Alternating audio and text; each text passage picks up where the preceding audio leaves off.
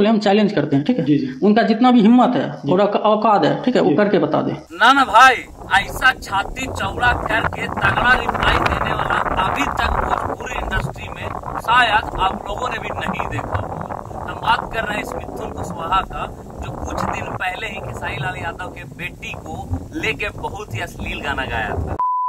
एक पंकज सिंह सिंगर ने गाना गाया था कृति यादव पे। उसके बाद एक छोटू चिंगारी, एक छोटा सा सिंगर है, जिसने बस पोस्टर में कृति यादव का फ़ोटो लगा दिया था। इन दोनों पे पता है क्या होता है?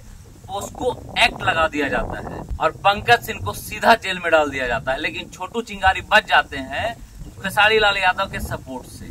मतलब वो अपना केस वापस ले लेते हैं या जो भी माफ़ी बनामा होता है, जो भी हो। लेकिन ये मिथुन कुशवाहा को आखिर कोई क्यों कुछ नहीं कर पा रहा है। क्यों? एक सबसे बड़ा सवाल बनता है। गाना आता है और वो भी इतना अभद्र से भरा हुआ शब्दों से आता है कि हम क्या ही बताएँ। अगर सुनते तो कान से खून आ जाता। लेकिन अभी तक इस सिंगर को कोई भी सजा नहीं मिल पाया है। मतलब खेसाई लाल यादव अब अपने परिवार से प्रेम नहीं करते हैं क्या? है? कुछ टाइम पहले जब बात किसी एक जाति का था, उस समय खेसारी लाल यादव बहुत ही बड़ा लीगल एक्शन लेते हैं। लेकिन आज जब गाना मिथुन कुशवाहा ने गाया है और इस तरीके से बढ़ चढ़ के वापस बोल भी रहा है, लेकिन यहाँ पे खेसाई लाल यादव कोई एक्शन नहीं ले पा रहे हैं। आखिर क्यों?